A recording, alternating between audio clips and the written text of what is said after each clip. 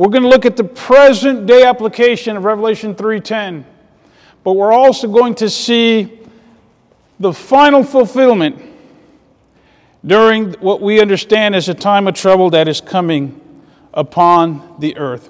We will briefly look at both of them, and then, which, if we have a little bit of time, we're going to look at a few events that are taking place in our world today to make sense of everything that is happening.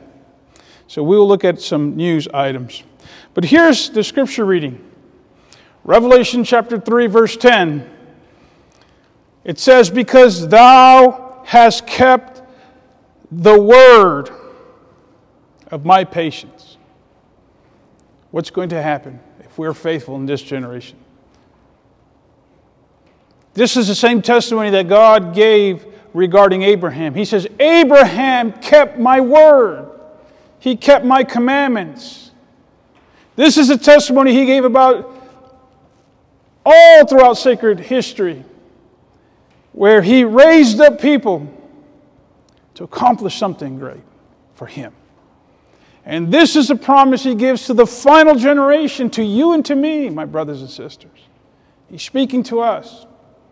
Because thou hast kept the word of my patience, I also will keep thee from the hour of temptation. What's that hour of temptation? What is that all about? Brothers and sisters, this is talking about a trial, a test, a period, a time of trouble, which shall come upon the whole world. It's coming. If it's coming to the whole world, then there's a message that has to go to the whole world, to every nation, kindred, tongue, and people. It shall come to the world to try them that dwell upon the earth. This is not a regional conflict. Only twice in the history of this earth has there been a worldwide proclamation to the world about a test that's coming. The first time was in the day of Noah. It was a worldwide proclamation. The whole world was going to be affected. And in these last days, there's a message that's going to the whole world. A test, a time of testing is coming. The hour of temptation is coming. Because you've kept my word, that is our part that we fulfill, that we commit to. See, God gave the nation of Israel a covenant, a covenant that was based on promises and conditions. And God told Abraham and the children of Israel, if you heed my word, if you're willing to enter into this covenant relationship, I promise I'm going to fulfill certain blessings. That's what a contract is, that's what a covenant is. And here we see our part. If we keep His word, and because we are keeping His word, and because we're faithful to His word, the promise is this I will keep you. That is a promise. Now, what does this mean? Let's look at this. This is from Review and Herald, July 9, 1908. It says, Because thou hast kept the word of my patience, I also will keep thee from the hour of temptation. Okay, that's, she's quoting Revelation 3.10. It goes on to say, in this scripture is brought to view the hour of temptation that is to try them that dwell upon the earth. We are now living in this trying hour. That's the reason we see the world in the condition that it's in. That's why we see all the troubles and all the conflicts and the war and the death and the destruction and the anger and the hatred and the bitterness and the social divide that is tearing up society completely. Because we are now in this hour of temptation. Brothers and sisters, we need to be kept by divine power in this hour. We'll lose our mind worrying about the Holocaust, the nuclear explosions, you know, the food crisis, the climate crisis, and every other crisis. The, the, it, what is the baby formula crisis? Imagine that. You list the crisis, they're there, A to Z. Unless we're kept by divine power to keep us from losing our mind. The Bible says the men, the, the hearts of men will melt in fear for the things that are coming unless you're kept by divine power. There is no escape, I continue to read. There is no escape for any from this conflict. We were born in this conflict. Well, I don't want to. Well, you know what? You don't have to get involved. But there's another party in this conflict that's not going to stop. There's an enemy, there's an adversary who's in this conflict, and he's not going to stop. He's going to continue his assault and his warfare against God's people. So you could choose to throw your weapons down, but the other side's not going to throw the weapons down. What happens in those situations? When one side puts up the white flag and the other side says, We're not going to accept that. We know what happens. We were born in this conflict. It goes on to say, if in your life we have a work to do, we have a duty to do, there's a work of preparation.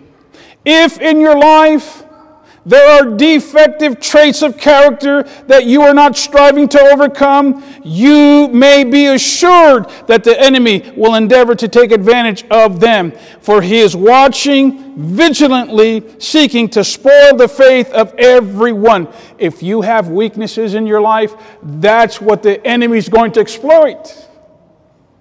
That's what he's going to use. Your weakness, your weak points if you don't develop those characteristics, if you don't put on the armor of God, that's where the enemy is going to assail us through. For what purpose? To destroy your faith. If I have a weakness, Satan is going to use that to try to destroy my faith, to destroy my confidence, so I could yield to temptation, so I can sever my allegiance and my faithfulness to God, and I lose out. That's what he's going to use. We have work to do in this time, in our own personal lives, in this hour of temptation. We're in it today. And we should be, as we read, striving to overcome. But, Andy, how am I going to do this? How can I ever achieve that? We're told it's impossible, some people say. Well, let's keep reading. Here's the hope in order to gain the victory over every besetment of the enemy. We must lay hold of a power that is out of and beyond ourselves. It's not within you to gain this victory. There's a power, there's divine power that's outside of us that seeks to come in. Notice what it says. We must maintain what kind of a relationship with Christ? What kind of relationship? A constant, living connection with Christ who has power to give victory to every soul that will maintain an attitude of faith and humility. Where's the victory contained in? It's in a relationship. What kind of relationship? A bad relationship? You know, there's different kinds of relationships. You know, there's good and there's bad relationships. And what kind of relationship is going to give me that victory in this hour of temptation in which we're living in right now? It's a constant living connection. Is that a dead, faithless, on again and off again, on again and off again. You know what that kind of relationship is? Have you heard of that relationship? Have you seen those relationships? Where everything's good for a little while, and then it gets really bad for a little while. But then it gets really great for a little while. But then it's like up and down, up and down, like a yo yo. Who wants that? Christ doesn't want that. That's not what Christ wants to give us. No, my brothers and sisters, God wants to settle the issue once and for all in our lives. You know what the word to settle it? He wants to seal it. The Bible speaks about the seal of the living God. We're going to be sealed. God's faithful people will be sealed in their foreheads with the seal of the living God, which is a sign of ownership. But what does it mean? It means that we're settled upon the truth. We cannot be moved because we are connected.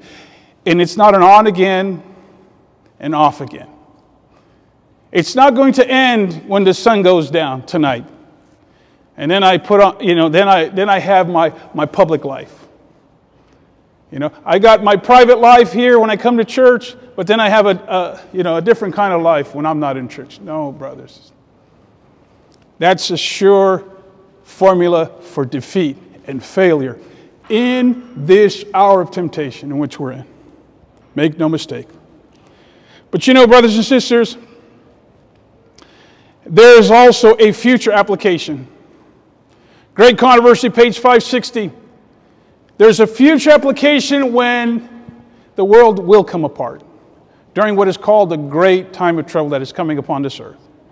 And we read from Great Controversy 560 just before us is the hour of temptation. We're in it today, but it's, it's, it's not going to get better.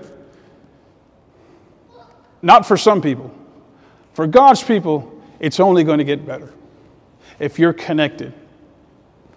Just before us is the hour of temptation, which shall come upon the world. And it doesn't matter what country. Oh, well, you know what? We have a country we're going to run away to. Well, it's going to be there too. It might even be worse. Listen, friends, there's not another nation to flee to. The only hope for Jesus to come and take us to a better land, to a better place. That's the only hope. It's coming to the whole world. She quotes Revelation 3:10. All whose faith is not firmly established upon the word of God, what's going to happen to them? Oh, but Andy, I'm in church. Andy, I participate in the programs. I'm involved. I have a position. I have title. That's not what it says. Jesus, the promise, because you've kept my word. That's what gives you the right and the authority to claim the promise that God will keep us in the hour of temptation. It doesn't say because you have a title. There's nothing wrong. There's nothing wrong with it. There's nothing wrong with that a title. There's nothing wrong with positions. There's nothing wrong with part- participating in programs. But let that foundation, let the purpose for those things be because we want to follow the word. Because you've kept the word, notice, unless our faith is firmly established. What does that mean? Does that mean that we compromise God's word? Does it mean that we read something and we say, wow, let me see if I can over contextualize the verse so that it means something that God never said it meant? How about that? How about rationalize the word? How about neutralize the word? How about explain it away to give it a different meaning? No, friends. And you know, we are experts at doing those things. I don't know if you've noticed that. We are experts at trying to find a way where we can get around what the Word says instead of just showing humility and just showing obedience. We try to find a way to make it say something it doesn't say, or to justify or to excuse things that God says he's not going to excuse. Well, let's look at the next one. Volume 6 of the Testimonies, 404. The great crisis is just before us. To meet its trials and temptations and to perform its duties will require what kind of a faith? Persevering faith. What kind of faith do we have this morning? A lifeless, a stagnant, a compromising faith. Friends, that kind of faith will be worthless in the time of temptation. Not just today, but what's coming in the future. However, a persevering faith is a living faith. It's a faith that believes and trusts what God says. And what does it mean? What's a persevering faith? Well, when God says something, by the way, when He told the nation of Israel, yes, you can have the promised land, it's yours, take it. That's what God said. But there's giants, and there's fortified cities, and the, the armies are so, are, are so numerous. And you, could, you can add your own if you want to. Well, I can't, I can't keep the Sabbath. I'll lose my job. I can't obey God. You know, what'll happen? My friends, you can add all your excuses. God told the nation of Israel, the land is yours, take it. If they would have maintained a persevering faith, they would have went in and taken the land and would have possessed it. They would have trusted God's word. They would have obeyed God's word. If you have a persevering faith, you don't have to understand. That's faith doesn't answer all the questions. Faith says, I trust what God says. I don't know how He's going to do it, but He said, and it's, it's on Him, it's not on me. I'm going to obey what God says. That's what faith is. It's like the song says trust and obey. Maybe we need to sing that song. Trust and obey, for there's no other way to be happy in Jesus but to trust and obey. It goes on to say, listen, but we may triumph gloriously. It's not just a victory, it's going to be a complete victory, a glorious victory. How? Not one watching, prayer, praying, believing soul will be ensnared by the enemy. Watching, praying, believing. Praise the Lord. A glorious victory awaits those who are watching, who are praying, and who are believing. It doesn't say sleeping, careless, inactive, unbelieving, giving excuses, compromising, and all the other things that unfortunately many times we ourselves. No, that's not the solution. So, what does it mean to be kept? What does it mean to be kept? Listen to this Great Controversy 560. And here again they quote the verse because you've kept the word of my patience, I will also keep thee. Is the Savior's promise, Revelation 3:10. What does it mean to be kept in the hour of temptation? If we do our part, okay, Andy, you've talked to us about our part. What will God promise to do? What will be his part? Listen to this. This, this is amazing. This is truly amazing. It says, He, that's the Lord, would sooner send every angel out of heaven to protect his people. Does God have a lot of angels? You can read in Revelation, I believe it's 5:11. We're not going to turn there. Just around the throne of God. We're talking about just the throne of God. We're not talking about his whole vast creation and the ever expanding universe. We're not talking about all the corners of all the different planets and the different galaxies. We're just talking about the throne of God, just around the throne, okay? Small section. You can read in Revelation chapter 5:11 that just around the throne it says that there are 10,000 times 10,000 angels. Now, what is, how much is 10,000 times 10,000? Who has a smartphone who can just punch in the numbers? What's, I have the answer, but what's 10,000 times 10,000? Somebody help me. 100 million. But it's more than that. Because Revelation 5 11 says, and thousand thousands. What's 1,000 times 1,000? Somebody with an iPhone. How much? 1 million. So just by the throne of God, we, we know that at minimum, there's 101 million angels just by the throne. That's not talking about all the rest. And what's amazing is that in 2 Kings 1935, God's people were at war and they were about to be destroyed. And God sent how many angels to deliver them? One angel. And that one angel destroyed the Assyrian army of 185,000 men. And it didn't take a lot of effort. One angel destroyed all the enemies of God's people. And we just read that if it's necessary, it's not necessary, but if it's necessary, God will empty all of heaven.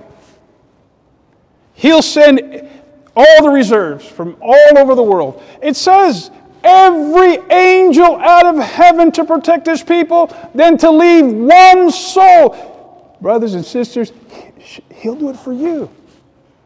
He'll do it for you. He already gave his son for you.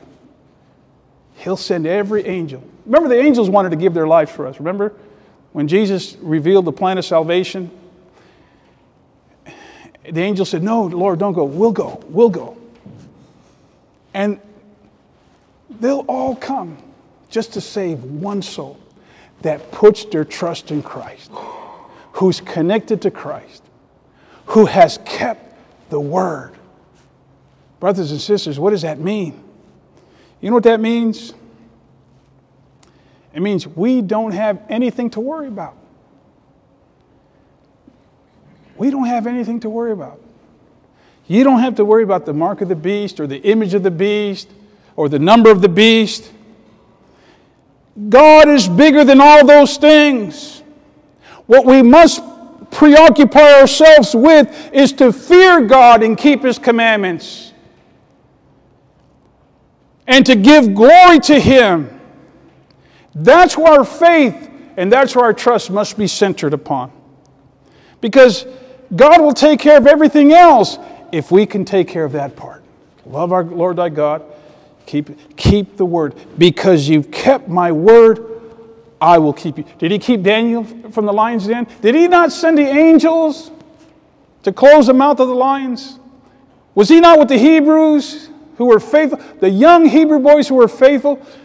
Because they kept his word. God promised to keep them. And this is a promise for these last days. Yes, the globalists and yes, the certain organizations and certain people are planning tyranny. They're planning it right now. Yes, they want to suspend all our liberties. Yes, they want us to, they want to keep us locked down. Yes, they they got a lot of plans. But God says, just be faithful to my word. But that faithfulness to the word doesn't just mean to believe and receive it. It also means that we have to communicate it. We'll see that in just a second.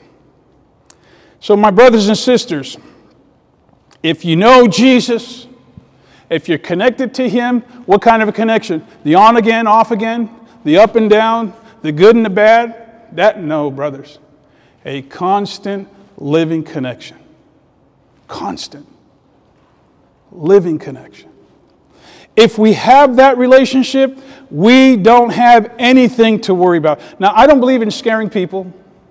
I don't believe in you know, the hellfire brimstone preaching where you scare people into the kingdom. But listen, brothers and sisters, there are things that are coming to the world. And if you don't know Jesus, listen, there are some things. You don't want to be outside of the protection of God. Let's just put it that way. You don't want to be outside of His protection. You want to have this relationship, you want to have this connection. You don't want to keep yourself in the great hour of temptation that is coming upon the earth. You don't want to keep yourself. You want to be kept by divine power. But there are things in this world that are coming that should give us pause, that should cause us to consider if you want God to keep you or if you think you, you got it all up here, you can figure out what's coming in this world. I don't want to be in that situation. There are things that are coming. The Bible says the man, the hearts of men will will melt for fear for the things that are coming upon the earth. So, what will be the heart of this conflict? What's at the center of the hour of temptation? Well, it has to do with the mark of the beast and the Sunday law crisis. Let me read to you from Review and Herald, June 19, 1900. Because thou hast kept the word of my patience. Notice how she throws the first part of the verse in the first sentence, and then the last part, the promise at the end of this paragraph. She split the verse because you've kept my word. God says, I will keep. She split those two, and then she added a lot of things in the middle. And this is what it means. This is interpretation. This is what inspiration tells us. Because you've kept the word of my patience. Does this apply to men who persecute those who conscientiously keep the commandments of God? Who refuse to bow down to an idol Sabbath and worship an institution of the papacy? That's the question. Is this not what it applies to? the coming Sunday law crisis. Coming Sunday law crisis. Listen, brothers and sisters, the Sunday test will surely come. It is even now approaching. Who is keeping the word of God's patience? This is a question of intense interest, a question which none of us can afford to ignore. You can't ignore it. It's not going away if you choose to ignore it. You know, when the ostrich sticks his head in the, in the hole because he doesn't want to see the lion, the lion's not going to go anywhere. The lion is still going to be there. It goes on to say, because God has said to those who keep the word of his patience, I also will keep thee from the hour of temptation. This is talking about the mark of the beast, Sunday law crisis. You say, but Andy, what? I don't see anything. I don't hear anything. I haven't heard. What are you talking about? Who's talking about that? No one's, that's not even an issue today. Well, look at the top part. This is from May 7, 2021, the Wall Street Journal. Have you heard of the Wall Street Journal? Okay, well, what do they say? In May of 2021, just last year, just last year, my brothers and sisters, it says, we, what we've lost in rejecting the Sabbath. Are they talking about the seventh day? Are they talking about the commandments of God? Are they talking about keeping the word? No. It says setting aside one day a week for rest and prayer used to be an American tradition. In an age of constant activity, we need it more than ever. What are they talking about? They're talking about an hour of temptation that's going to come, a test that's going to come to the whole world. They want a day of rest. Well, what day of rest is that? Notice this one. The bottom part is another news source, news agency. And notice what they said in December of 18, 2021. That's not a year ago. That's what, six months ago? Six months ago. At least I can count that. Reenact blue laws. What is that? What is a blue law? That's a Sunday law. That's a law that said you're going to worship on this day or you go to jail. You're going to lose everything. Reenact blue laws to combat worker shortages and curb inflation. Now, I, I know I shouldn't talk about inflation. I know we can't talk about that in church. Some will say that's a political. But is inflation going up? Is it going up or is it going down? It's going up. And what's the solution? Well, according to some, Sunday is a solution. Sunday is going to solve everything for us. That's what they're saying. Economically, the blue laws would reduce the demand of and increase supply, which would curb the out of control inflation. No, it's not going to curb. It's not going to curb none of that. Quit printing money. Well, I shouldn't have said that. Quit spending. Quit borrowing. Quit spending more than you actually make. Is that a biblical principle? Yes, it is. Live within your means. No, no, no. You can still spend, you can still borrow, you can still live reckless. But Sunday is going to solve all the inflation. The supply chain. Have you heard of a supply chain? Have you heard of empty grocery stores and no construction equipment to build? Have you heard that there's we're having issues with the, the ships delivering produce and commerce and stuff? Sunday's a solution. That was six months ago. Watch this. February, we're getting closer. February 11, 2022. Not just nostalgia. Some pandemic, weary souls want to make Sunday a day of rest again. And that's from, you can see the website up there, but now they're saying, you know, the pandemic has helped us to realize that we need Sunday once again. What are you talking about, brothers and sisters? Well, everyone's locked down. They should have at least some kind of relief. So you can read the article, and they're saying we need this. Sunday's going to save us from the pandemic. It's also going to save us, notice this, March 18, that's closer, right? We're getting closer to our time. Car free Sundays. The IEA, that's the International Energy Agency, a global organization that wants to dictate not just to the United States or to the developed nations, they want to dictate policy to the world. And what is their recommendation? What is their advice? What is their solution? To oil. Have you heard of oil crisis? Have you had to put gas in your car? What's, what's going on with oil? What's going on with gas prices? There's a solution for this. The experts tell us. The experts say, we have an answer car free Sunday. Rest on Sunday. Don't drive your car on Sunday. This is from The Guardian driving more slowly. On Monday through Saturday, just drive slowly. Turning down your air conditioning. Well, they, they don't, whoever said that, they don't, they don't live in Oklahoma in the summertime. And car free Sundays should be adopted as emergency measures to reduce the global demand for oil. What's going to solve the global oil crisis? Sunday, Sunday, Sunday. It's coming. The crisis is coming. Here's another one. When was this?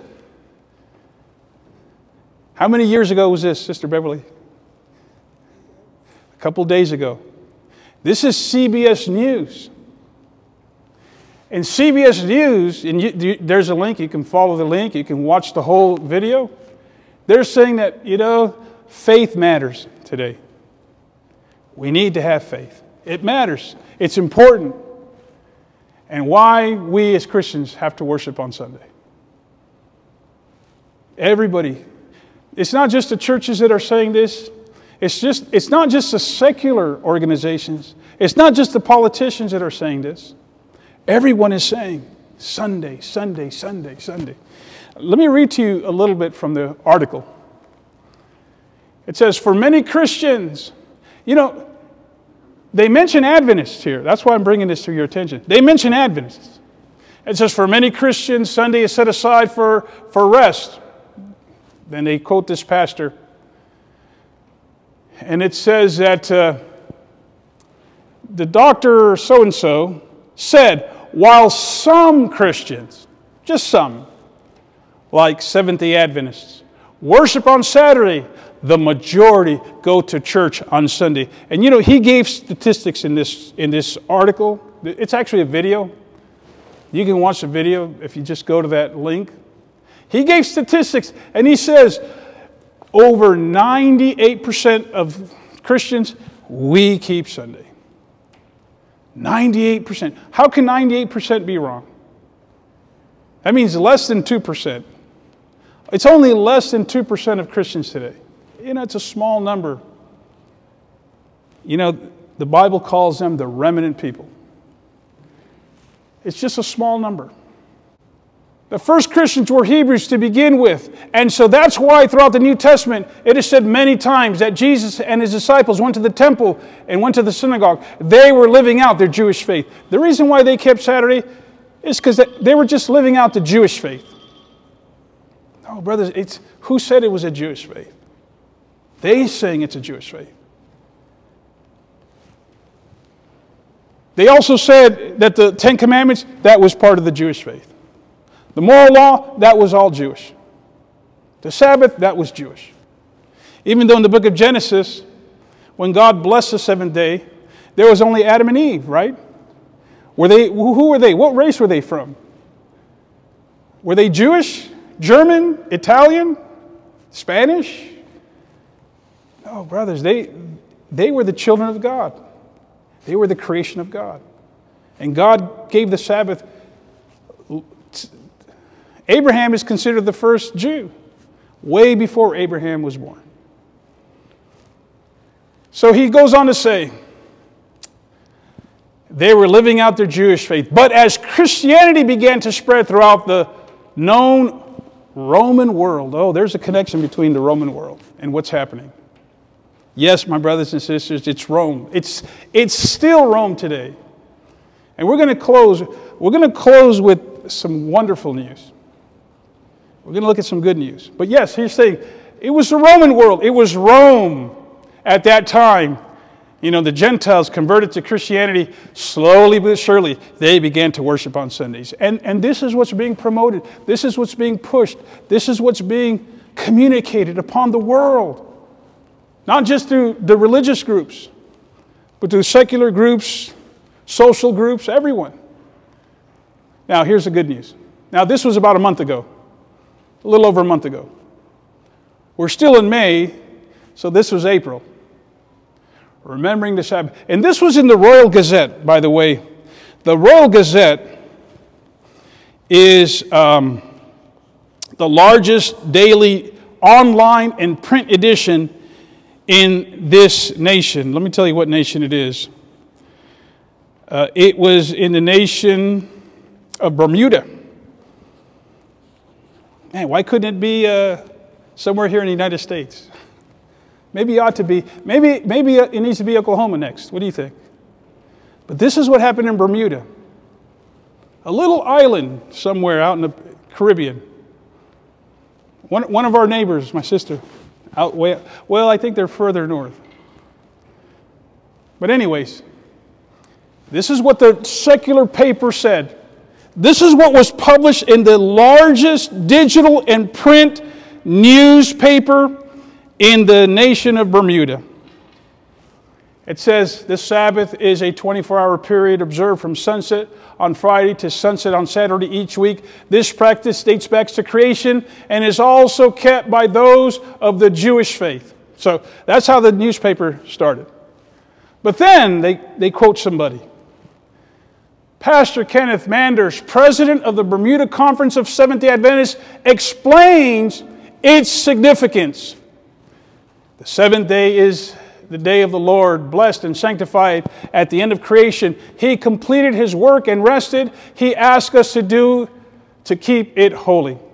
He goes on to say, observing the seventh day as a Sabbath is one of the 28 fundamental beliefs of Seventh day Adventists. It was established in Genesis reinforcing the Ten Commandments. The Sabbath is a day of reflection, it's a day of reflection, enjoyment, worship for God's people. And then at the bottom it says, He created the Sabbath for mankind. That's what Jesus said. Mark 2 27 and 28. The Sabbath was made for man. The Greek word means mankind, anthropos. There is a blessing to it. It's not a holiday or an excuse to work, it is sacred time where we're called to commune with God. Mr. Mander said. Sabbath keeping is a practice mentioned several times in the Bible, in both the Old and the New Testament. This is what the first angel's message teaches The first angel's message says, Fear God and give glory to Him and worship Him who made the heavens. That's the creator, right? The one who made the heavens and the earth is the creator. How do we worship the creator? Somebody help me. How do we worship the creator? What's that? By keeping his laws? Is there anything specific in the law? The Sabbath. How do we worship the Creator? For in six days the Lord made heaven and earth. And he rested the Sabbath day. And he blessed the Sabbath day.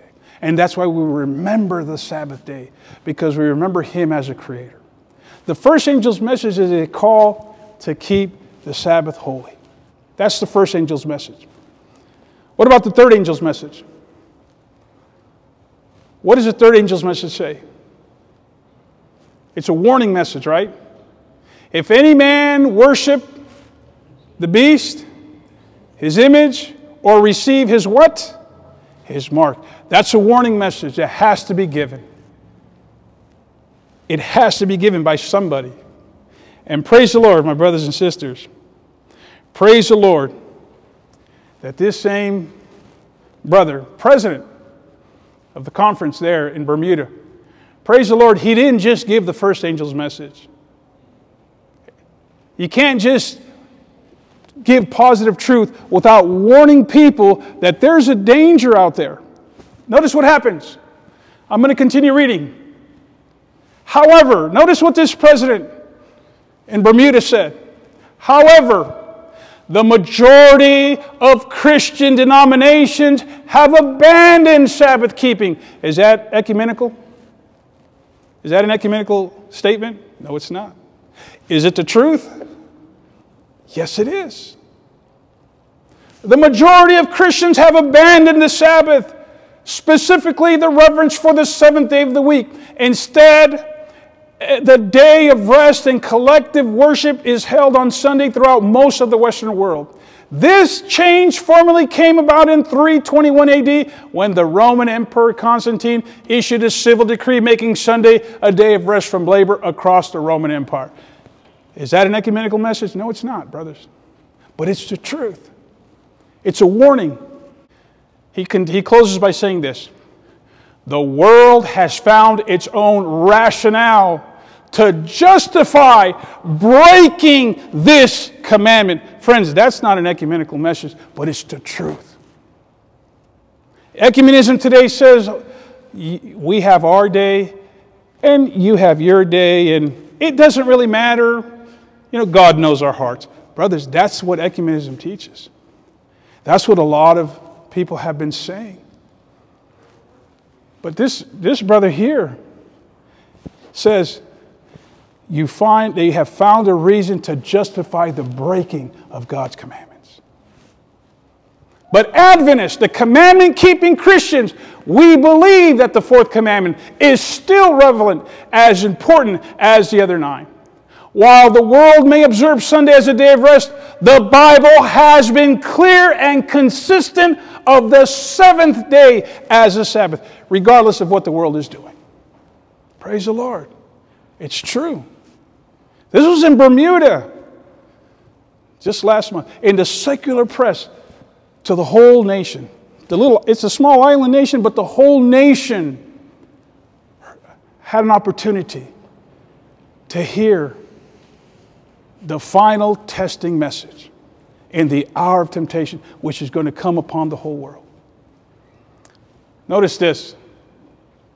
He goes on to say, there are some. What, what kind of, man, that's, a, that's not a nice way to start a sermon. If I stand up and say, there are some brothers, that's not very nice. But it's true. There are some. There are many. There are some who will say that Jesus nailed the Sabbath to the cross and done away with this practice. But this is simply not true. How many say, Praise the Lord? Praise the Lord.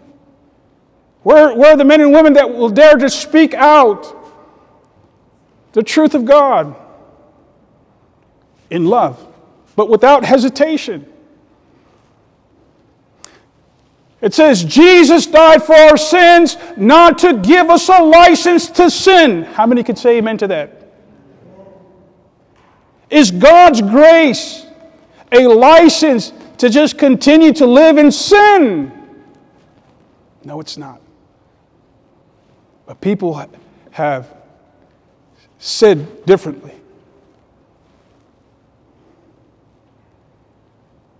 It goes on to say, not to give a license to sin, but to absolve us from the penalty of sin through the acceptance of Him as our Lord and Savior.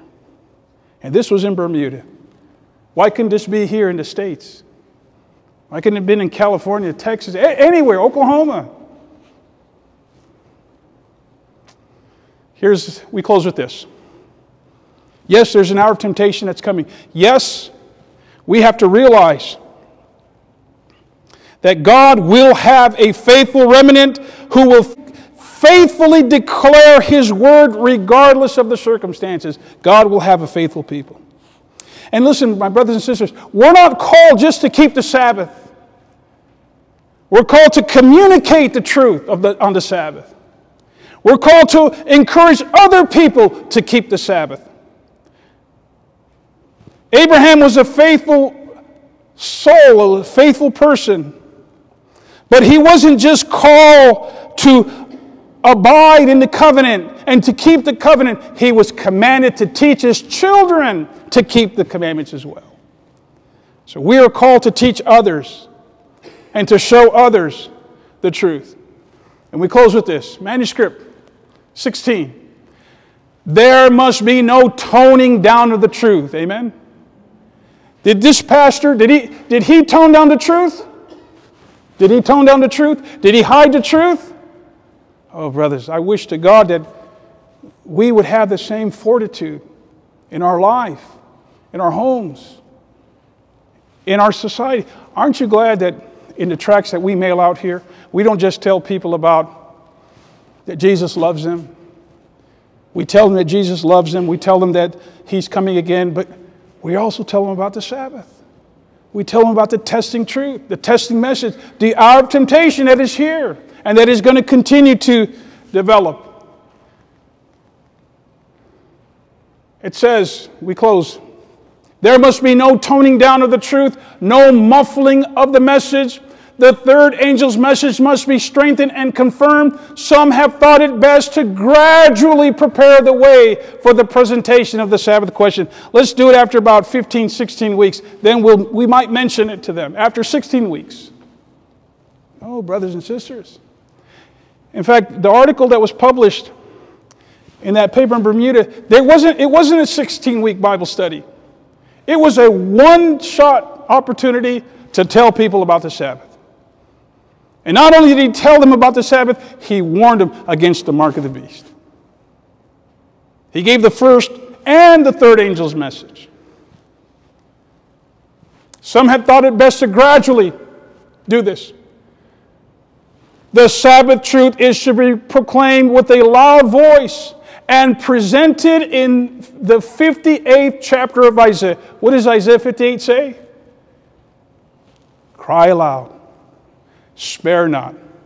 Lift up your voice like a trumpet and tell my people their sin. Did he say that the desecration of the Sabbath is the breaking of God's commandments and that God did not give us a license to sin? Yes, he did. He said those things.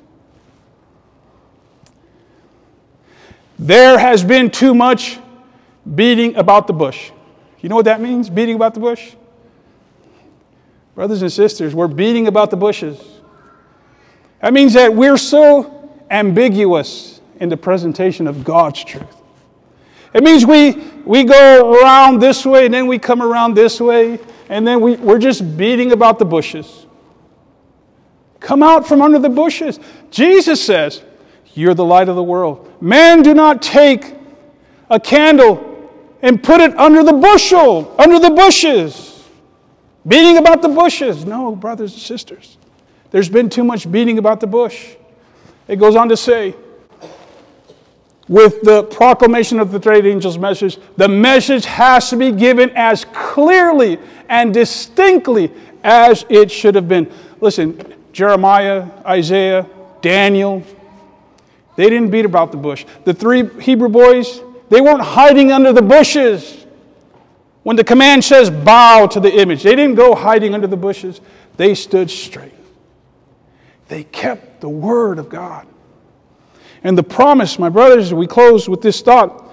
The promise is because you've kept my word. Praise the Lord, we have faithful men and women in God's remnant people who keep the word and they proclaim the word with boldness, with faithfulness. Let us be that kind of a people. Because you've kept my word, he promises. I promise, I will keep you in this hour of temptation. That it's here now, but it's coming relentless in its fury, a storm is coming. But there's a hiding place from the storm and from the tempest. And if we are faithful to God today, if we can stand for Him today, He promised that he, we will be kept by divine power in the crisis that's coming ahead. That's the only way we can get to the time of trouble. That's the only way we'll be ready for Jesus to come. Let's bow our heads. We thank you, Lord, for your many blessings. We thank you, Lord, that you've called us at such a momentous hour as this. Help us, Lord, to be faithful. Help us, Lord, to, to seek you. We don't know how, Lord, you're going to give us this experience. But you've told us that if we abide in your word and if we establish this connection, this living connection with you, that therein lies the success to victory. Oh, Father, we need that more than ever. We need more victory today where there's only, we see defeats and failures and misery. You have everything we need. We pray that we may come to you while it is still time, while there is still an opportunity. Yes, Lord, it's not too late. Soon the doors will forever close, but it's still not too late today. Help us in that decision and help us to remain in that uh, relation with you, not just here, but when you come in glory and throughout the ceaseless ages of eternity. That is our prayer and our desire. We ask in Jesus' name. Amen.